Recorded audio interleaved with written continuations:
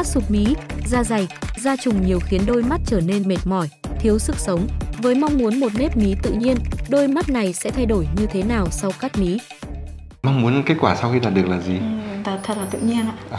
Ở đây nhiều bạn nói là mất công đi làm rồi phải cắt to ra nữa. Ờ, không anh ơi, em không có nhu cầu đấy ạ. Oh no. rồi ok, cắt tự nhiên thôi nhé. Dạ vâng, vâng. Tự nhiên thì mắt nó tươi trẻ. Tự nhiên thì có nghĩa là mí nó, mí nó không quá to đâu. Thì với bạn này thì bác sĩ sẽ cắt mí điều chỉnh cái nếp mí hai bên cho nó tương đối cân loại bớt cái da dư. Nên với một số bạn khác ờ, thì, có thể là bác sĩ sẽ chỉ định chỉnh cơ đó nhưng bạn này thì bạn ấy không muốn can thiệp nhiều, can thiệp nhẹ nhàng thôi thì ờ, loại bớt cái da dư bên này sụp nhiều hơn. Đó.